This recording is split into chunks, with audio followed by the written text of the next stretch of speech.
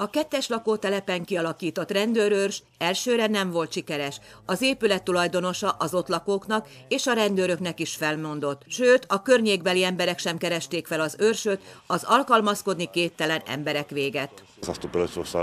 A képviselőtestület úgy döntött, hogy folytassuk. A város ezt az egykor postaként működő épületet jelölte ki erre a célra, márciustól működik.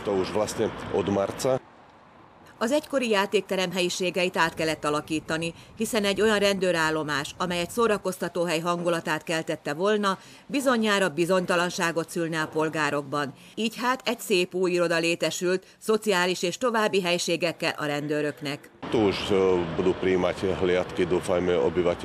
Reméljük járőreink éjjel-nappal is fogadhatják majd a bejelentéstevő lakosokat, ez most még sajnos nem lehetséges. Kollégáim délután négytől reggel négy óráig vannak itt.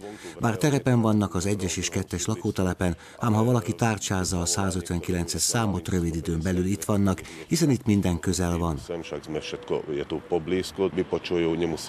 A kollégáknak nem kell a belvárosi rendőrségre hívni a bejelentő vagy panasztevő polgárt, akinek aztán vissza kéne jönnie, mindent el lehet itt intézni.